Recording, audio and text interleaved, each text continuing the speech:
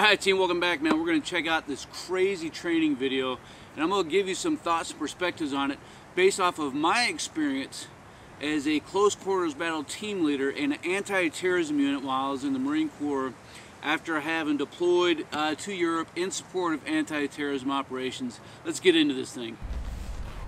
Alright, so here we go. A crazy little intro. Get this thing started.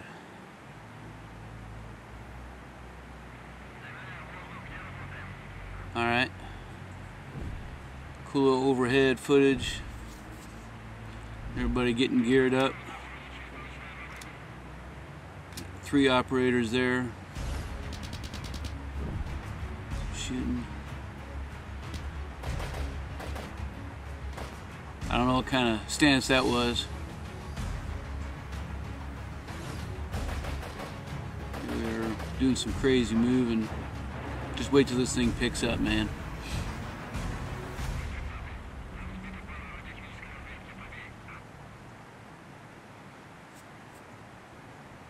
So it says it's shooting with live ammunition. I, I, can tell you that if that's the case, uh, here we got four operators. Holy smokes! Come on now.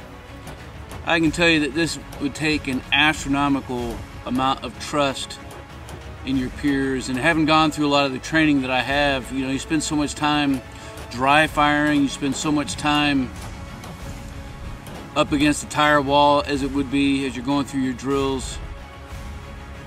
And then you go through blank and then simunition and then on to live rounds. And I haven't done any training quite like this uh, with live ammunition Man, that's crazy. I can tell you, after the amount of training and shooting I did, I used to be really good uh, marksman.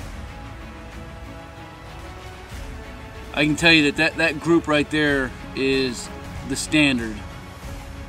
Had one look like a flyer a little outside the brain box, but here we are doing some more live fire towards each other, it looks like. I mean, I, have I've thrown Molotov cocktails and have had Molotov cocktails thrown at me while I was doing some training in uh, England with the Royal Marines. These dudes are just off the chain. The amount of trust that these guys have in each other has to be ridiculous. I mean, living, breathing, eating, partying, doing everything together. They're blowing, popping balloons. Nothing like this would ever happen in the States.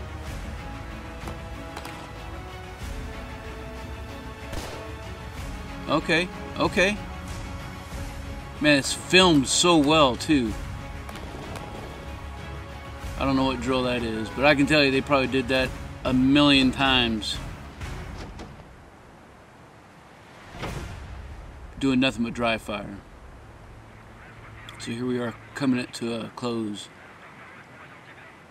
That is absolutely crazy, right? So you think about, you know, stuff like this and, and what we may see other countries and other organizations do and sometimes it may make it feel like we are extraordinarily risk averse sometimes. And I tell you that regardless of what limitations that you have um, at you, you need to find a way to make some challenging training that's going to keep dudes engaged because that's what that's why people join the military. But you know, stuff like this, you know, it's not going to happen in an ordinary unit, regardless of what branch you're in. And I can tell you that those dudes were certainly not regular army uh, in the Russian military. Right? Those those guys have had a lot of training, a lot of specialized training, and are I'm no doubt in a specialized unit. I'm not sure which unit that was. I don't know where that came from, but I just saw it and thought, "Holy smokes, man! We got to take a look at this thing because there's something to it." Uh, as it, when it does come to a training aspect, when it comes to knowing who our potential adversaries may or may not be somewhere down the road, and uh, that's just something crazy. I am looking forward to your thoughts and comments down below. I'll tell you, one of the craziest things that, I, Stoker has done uh, wasn't I mean, I didn't shoot at my at my at my buds, but I was doing some uh, as a HRST master when I was in the Corps, uh, kind of like spies and fries in the Army. Uh, we were doing some training in uh, Italy somewhere, or Greece. I, I think we were on Crete. We were on this old rickety tower. And I remember uh, being the rappel master, and I was the last, the last dude to go down. Uh, I went down Aussie style, and when I pushed off, man, I was like, "Hey, man, you got me." Like, dude's down below is like, "Hey, on belay." I'm like, "Hey, on rappel," and man, you got me. It's like, "Yeah, I got you." No, you got me. It's like, "No, I got you." Okay, you got me, and I just jump. And sure enough, you know, obviously I'm here today. Uh, dude uh, executed his as well as being on belay, and of course, I didn't go over so well with a few folks, but it was pretty stinking awesome. But I think there again, it just goes to show you the level of trust that you get uh, when you're working in some type of units. But you can get that level of trust in any unit that's out there if you're training and living and working with a sense of purpose. Does that make sense?